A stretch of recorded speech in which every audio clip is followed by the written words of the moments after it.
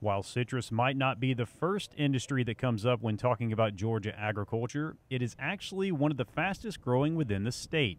And a big reason for that is Georgia producers filling the void after a sharp decline in orange acres across Florida, thanks in large part to a devastating disease called citrus greening. So, depending on who you ask, um, it's taken out about half to two thirds of citrus in Florida um, it's had a major, major economic impact on them and their citrus industry. And they've been battling it for quite a while. More than a decade, in fact, battling a disease that slowly starves the tree of its nutrients. Citrus greening is a um, bacteria that is spread by the Asian citrus psyllid. Um, citrus greening is also known as HLB.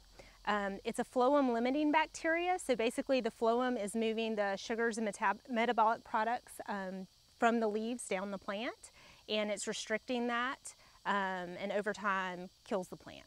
While the disease can't be 100% confirmed without proper testing, there are some things you can see on the leaves that indicate a problem. There is some visual diagnostics that lead you to move that way. Um, the main one is some blotching of the leaves. Um, so with a nutrient deficiency in a tree, you'll usually have symmetrical yellowing in the leaf, usually around the leaf veins. Um, with citrus greening, you'll see um, yellowing, but it'll be asymmetrical. So if you folded the leaf in half, the yellow wouldn't match up. Even though the effects of this disease might not happen overnight, the impact on the fruit is eventually devastating. You can have greening on the tree for one to two years a lot of times before you'll see any visual symptoms that there's something wrong. Usually what I've seen, and I'm no expert or plant pathologist, but um, a lot of times they'll still produce palatable fruit for a couple years after that. But eventually, as the tree's continuing to decline, the fruit will become misshapen and it'll have a bitter or salty taste. So it'll just be unpalatable. Unfortunately, there is no cure for the tree once it's been infected. That means it's essential to take preventative measures to help minimize the risks. You can do preventative insecticidal sprays for the psyllid that carries it. Um, those are best done usually in um, late spring, early fall. Uh, the psyllids are less active in summer when it's as hot as it is today or in wintertime.